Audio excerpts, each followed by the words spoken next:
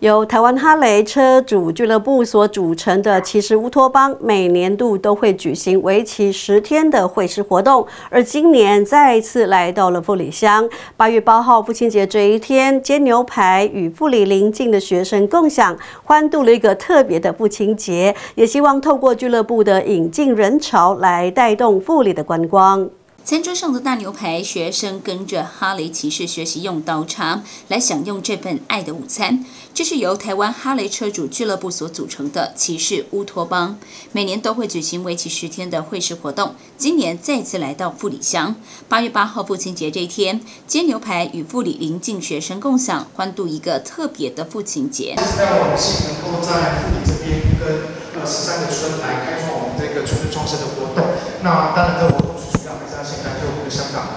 所有的支持，然后对于我们阿里，其实来这边哦，很多的呃相关的部分，那香港这边都非常的呃给予非常多的支支持。那当然他也提到很多乡民的需求跟乡民这边的想法，那我们也会尽力来号召我们的哈雷骑士来这边跟大家共结一个非常好的呃美好的连接。前菜以及甜点、茶饮都是由哈雷骑士与富里乡农会共同制作，其中牛排可都是哈雷骑士下厨，让孩子们吃到最新鲜、最美味的牛排。嗯，就是学到西餐的礼仪，就是还不错。然后呢，觉得不过他们也还蛮帅的，然后学到